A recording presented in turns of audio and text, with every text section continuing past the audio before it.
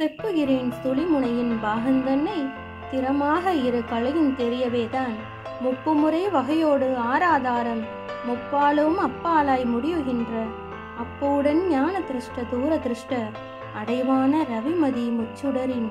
நேர்மை இப்புவியில் அண்ட பிண்டம் காய சித்தி இன்னதென்றும் திரிகால மியம்புவேனே பாடல் விளக்கம். இந்நூலில் சுழுமுனை எனும் சோதியின் இருப்பிடத்தையும் அதனை அடைய இடக்கலை பிங்கலை எனும் இரு கலைகளையும் திறமாக இயக்கும் வழிகளையும் தெளிவாக தெரிந்து கொள்ள சொல்லியிருக்கிறார்.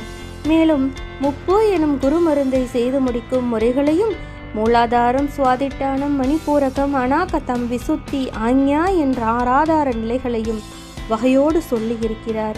மேலும் ஆணவம் கண்மம் மாயை என்ற முப்பாலும் ஒளிந்து அப்பாலே நிற்கும் அறிவை அறிவதற்கும் அப்பு பிருதிவி தேயு வாயு வெளி எனும் பஞ்சபூதங்களையும் ஞான திருஷ்டி தூர திருஷ்டி எனும் இருந்த இடத்தில் இருந்தபடியே அனைத்தையும் அறிந்து கொள்ளும் ஆற்றலையும் கூறிடுவேன்.